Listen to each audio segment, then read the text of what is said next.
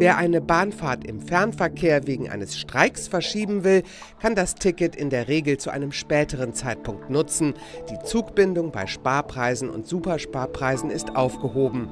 Sitzplatzreservierungen können kostenlos storniert werden.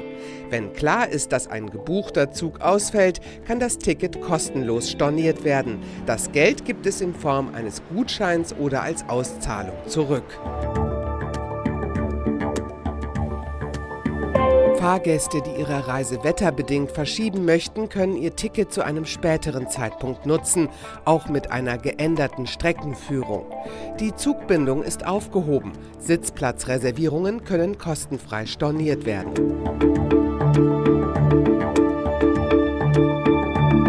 Wer mindestens eine Stunde zu spät am Ziel ankommt, bekommt ein Viertel des Fahrpreises erstattet. Bei zwei Stunden ist es die Hälfte. Wenn frühzeitig absehbar ist, dass das Ziel mindestens eine Stunde später als geplant erreicht wird, dürfen Fahrgäste von der Reise zurücktreten und sich den vollen Fahrpreis erstatten lassen.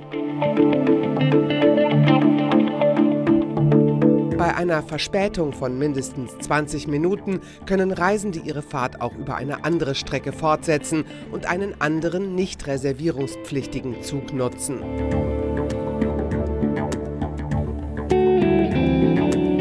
Wer etwa wegen Ausfall eines Anschlusszuges seinen Zielbahnhof nicht mehr am selben Tag erreicht, kann sich die Kosten für ein anderes Verkehrsmittel bis maximal 120 Euro ersetzen lassen, falls die Bahn kein anderes Verkehrsmittel zur Verfügung stellt. Alternativ ersetzt die Bahn angemessene Übernachtungskosten, wenn sie selbst keine Übernachtungsmöglichkeit zur Verfügung stellt.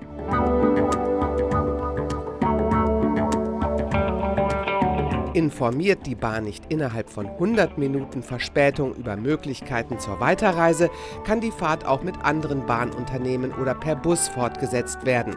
Die entstandenen Kosten werden von der Bahn erstattet.